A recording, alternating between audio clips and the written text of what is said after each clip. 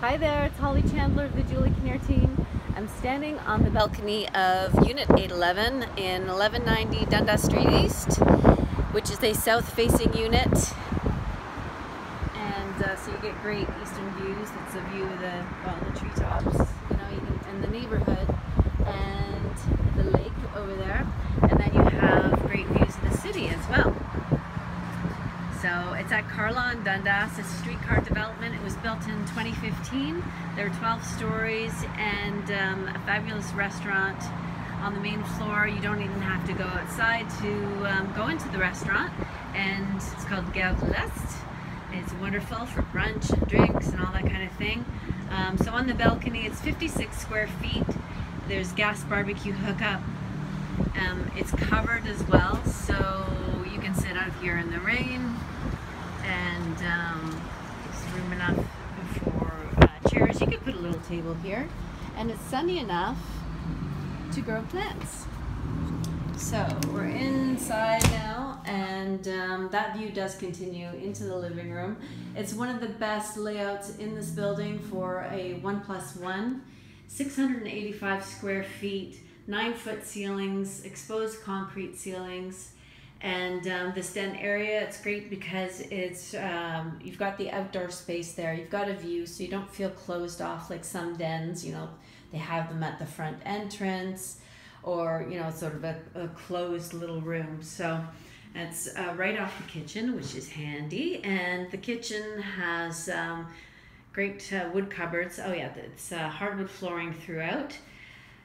But this is a nice sleek kitchen. You've got an integrated fridge there, integrated dishwasher over here, and good storage space. There's a lot of storage space in this uh, unit actually. There's a double closet in the master and there is a front hall closet which is combined with a laundry room and as an extra bonus, there is a locker on the floor. So you don't have to, like on this floor, on the eighth floor, you don't have to go to the underground parking to um, access your locker, which you do in most buildings. So you can see more of the view there.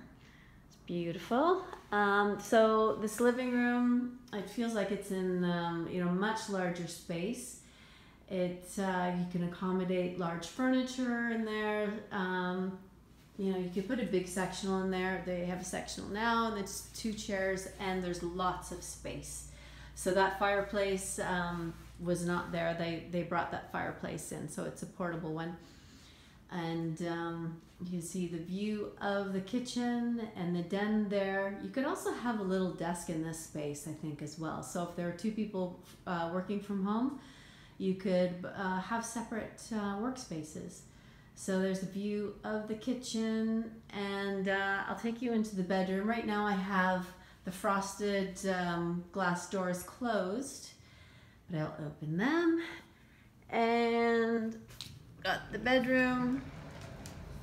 So it's again nice size. You could fit a king size bed in here easily and um, nice deep closets there. This door also opens, so if you're tidy enough, you can have your bedroom open, and um, it just adds another you know sense of uh, spaciousness here. So going into the entrance, I'm kind of going backwards here. So why don't I start back at the entrance? So you can see the foyer or the front hallway is nice and wide. So um, it's closed off enough that you have a welcoming entrance, but it's wide enough to have you know several people here, and you see the rest of the uh, of the condo as well. So it's uh, quite handy to have a front hall closet right here, and laundry room as well. So it's combined. It's a very efficient, well designed space. And uh, the washroom has the same cabinetry that you find in the kitchen. Um, and deep soaker tub. So one thing I forgot to mention, you can see the tub there, um, is that there's thousands of dollars spent on the upgrades here. Um, and there's a parking spot, as I mentioned, a locker on this floor. In this building, there is uh, uh, car share.